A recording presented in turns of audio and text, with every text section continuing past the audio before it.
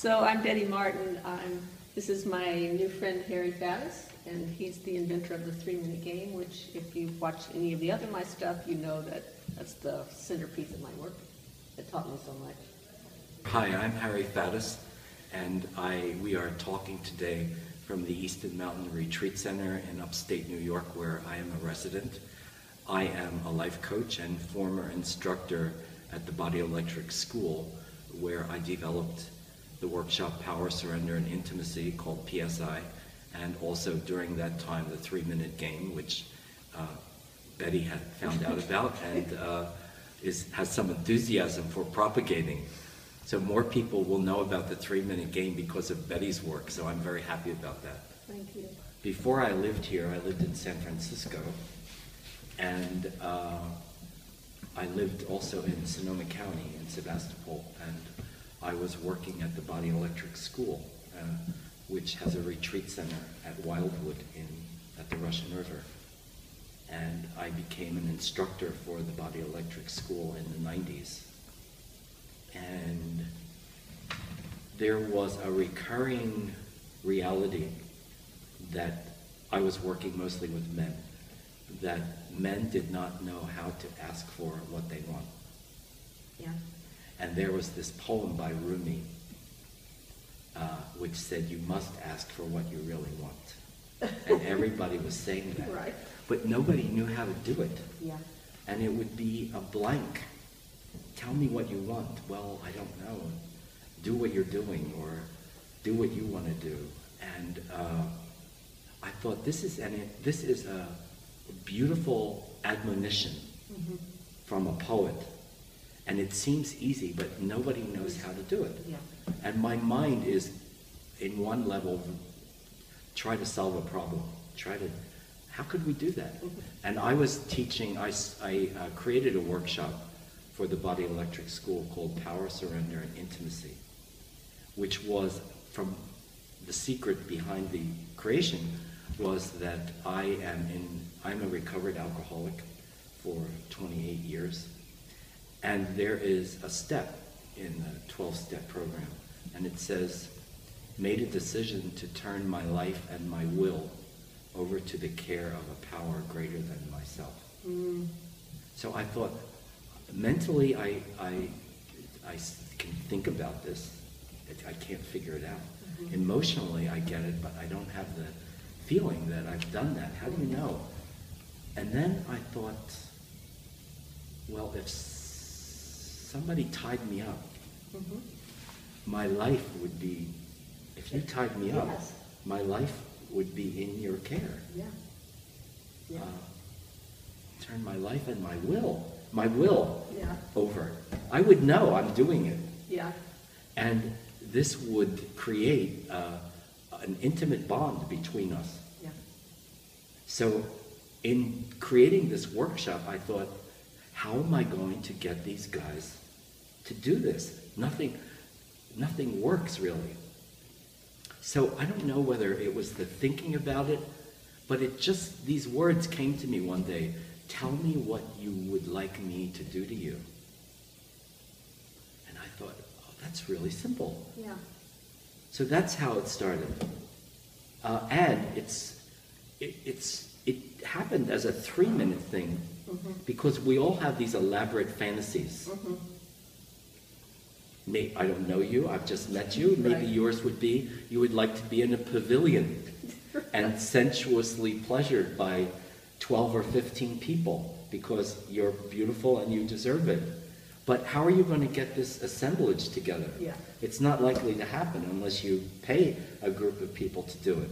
So I thought we, there's one thing to explore our fantasies in a way that when, if I'm in a personal engagement with you, that you don't ask me for any of those fantasies Mhm. because we are here and we are now. One person, one person. What could I do for you or what could you do for me in three minutes that I would accept either as a giver or receiver that we could accomplish? And at the end of that, you would be able to say, I asked for it, Mhm. I got it, and I'm grateful. Mm. That is the key thing here. Yeah. Or maybe I, I'm grateful and the next time I do it, I would like to tweak it Yeah, or Yeah. something like, oh, I should have asked for that, or. yeah, So the more you play it, uh, the more you learn what you don't want. You thought you wanted Yeah. it, but you don't want it. Yeah. Or I, I remember people in the workshop would say, well, all right, I, I don't like spanking. So I, I would say, well, that's good. You figured out your list Mm-hmm. of what I don't like. And what, but what do you like? Let's get that list yeah, going. yeah. Yeah, and what, and you can, you can, uh, you can do that in three minutes a lot of times in ways that you could not actually do if you had a longer time. That's right. And some people like to expand it to five minutes, and uh, it's a very good, if you're having an intimate uh, encounter with one other person, it's a very good way to get started. Yeah. And a lot of people ask for, uh, before the big bang happens, let's have some foreplay Yeah. or some mood setting things. Yeah. And this is, I'll just, it's a typical female male conversation. A woman will say, but you don't spend enough time beforehand. Mm-hmm. And the guy doesn't understand that. What, what do you want me to do? You know? And she has no clue how to How act. to say that? Yeah. Isn't Yeah. that this just bizarre? Yeah, yeah, it is. So if you would say, I would like you to rub my back for three minutes, any guy is, or girl is going to say, well, I could do that. Yeah, yeah. I could do that. I, three, six, nine, 12, 15 minutes. Yeah. Then we're connected Yep. in some way. So the, the synopsis, or the way I learned it, at the, the workshop that you designed, which I took later, is two questions, two people. Each person asks the other person both questions, so you're taking turns, and each question is an offer. So the questions are, what do you want me to do to you? And what do you want to do to me? So when I say, what do you want me to do to you, I'm offering you my service. Yes. And you get to decide what you want. So ask me the question. What do you want me to do to you, Harry, for So three minutes? In a workshop, she's A and I'm B. And it gets so confusing with people because they can't believe this is happening that you have to write it down and you have to give an A and a B. So Yeah. you're A. What, what would you like me to do to you for three minutes, Harry? I would like you to rub my neck. Then I have to decide, is this something that I'm okay with? And I take a moment, in my workshops, I encourage people to take a notice. Is that a gift that I can give with a full heart? Yeah, I'd be glad to do that. And then we negotiate, Do you want to turn around or whatever, and then we do that for three Yes. minutes. So then ask me again. So then, the same one? Yes. Okay.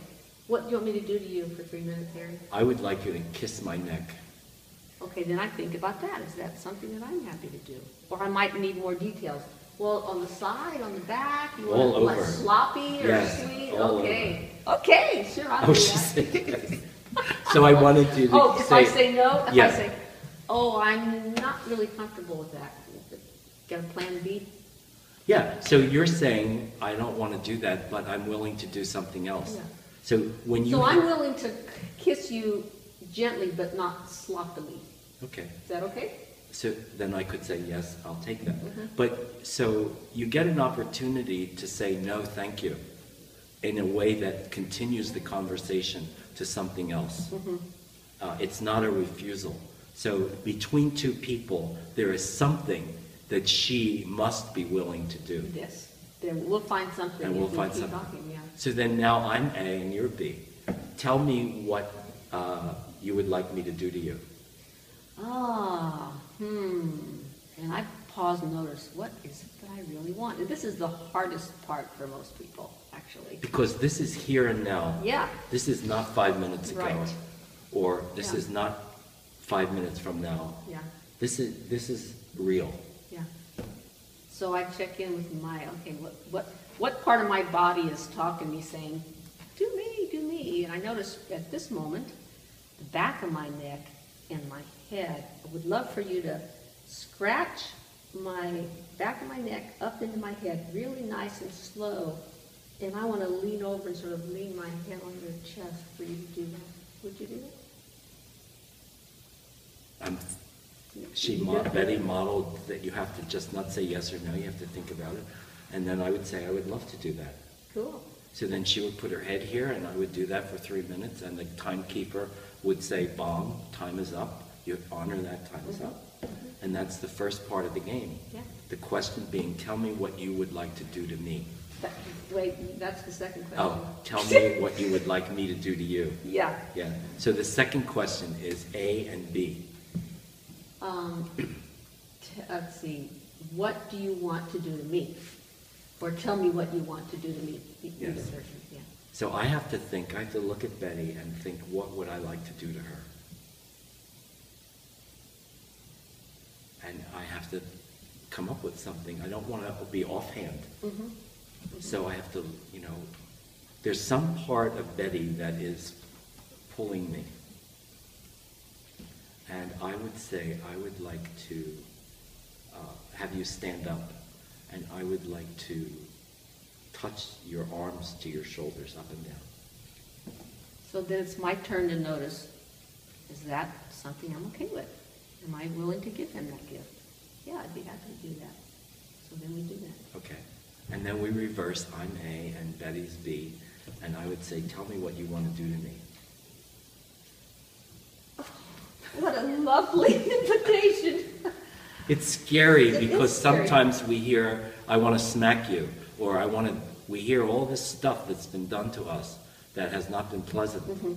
Yeah. So I'm saying, this is, she has the ability to have some power over me. Yeah. Tell me what you want to do to me. And, and what you're offering with that, in, in the first question, you offer, I'm here, I'm gonna be of service to you. In this offer, you're offering me you, your body, basically. So how I want to play with you. I'd like for you to put your head in my lap, and I'd like to explore your hair and your whiskers and your face. Just sort of feel around. So my first thought is only three minutes. I would love that. So it's a deal, and then It's we do that for three minutes. Yeah. And if it's not, say you had a, a, a limit, and in my workshops, I, I, we, we do one round where you set a limit even if you have to make one up. So you have the practice of it. So it might be like, yes, you can do that, but not my beard, or whatever, some limit that you might have. Um, Because as you said on the first one, there is something that you're willing to give, that you're, that you're happy to give. And it's up to you to find what that is so that you're happy to give it and you're not begrudgingly giving it. You can be in this exchange with somebody who is the absolute opposite of somebody you like. It could be somebody you would say is too old or too fat or too whatever. But when you look at somebody, there's something that I can offer you mm-hmm. that is based on our human condition. Mm-hmm. We are not going to have an intimate exchange sexually, or I am not promising you that we're going to get married. I am simply giving you three minutes of mm-hmm. my undivided attention. Mm-hmm. No matter who that is, if you, if you can recognize the person's humanity, mm-hmm. then we're in, the- in the conversation. Yeah.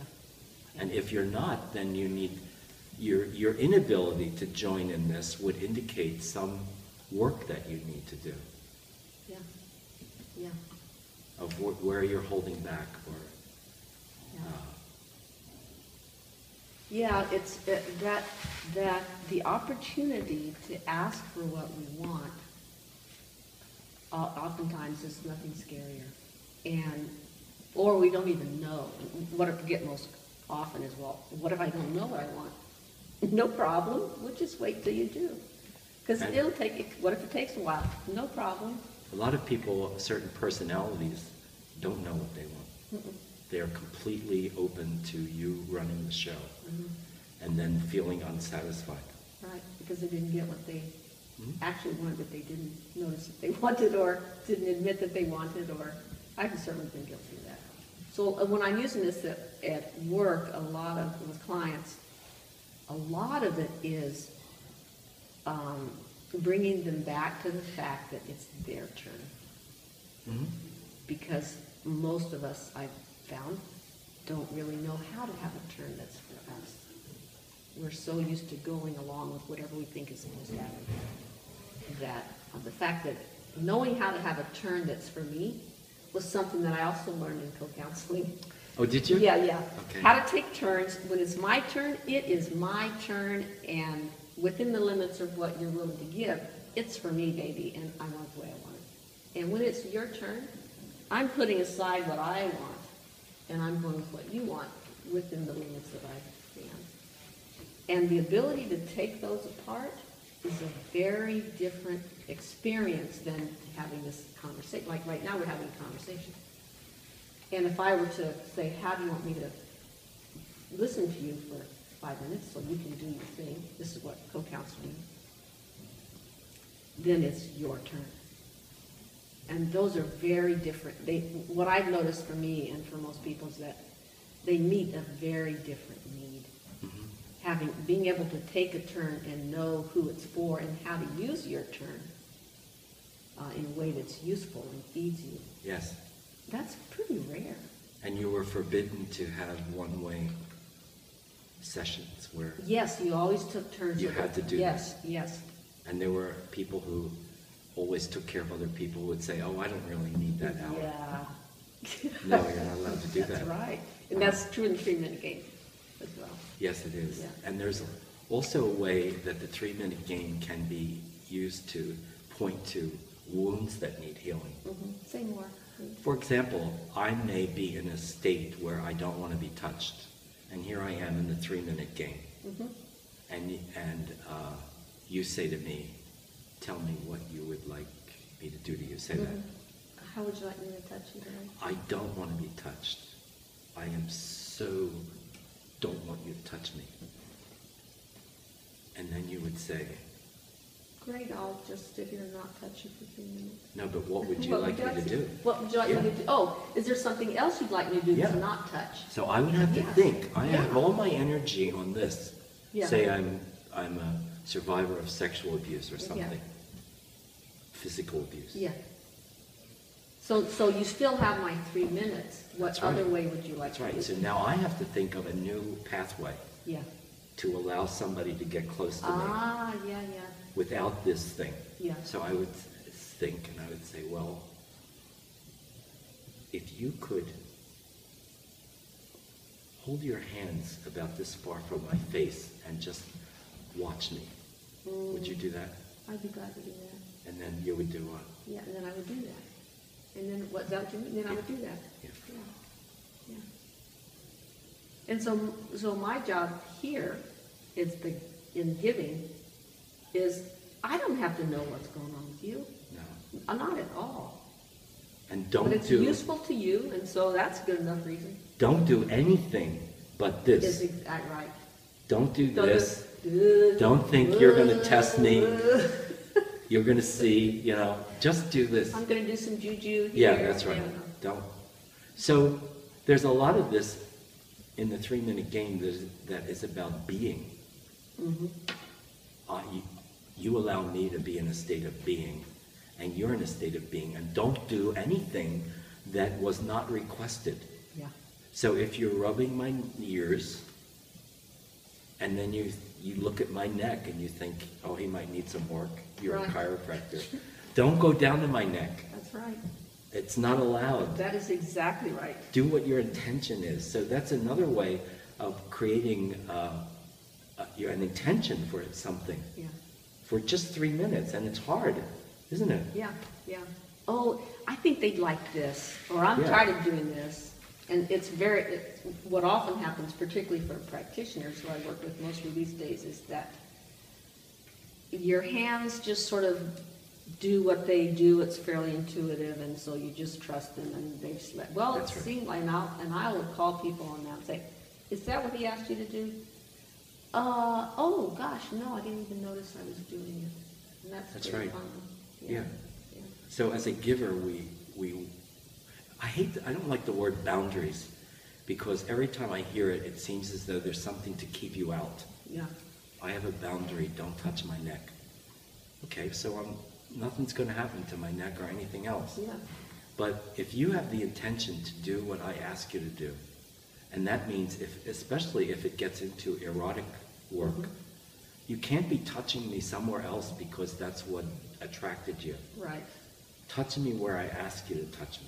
yeah, And it's only three minutes, or if you expand to five minutes. Yeah. But isn't it hard for us to keep our attention Yeah. on our intention? yeah, yeah. As if there's more or Yeah, whatever.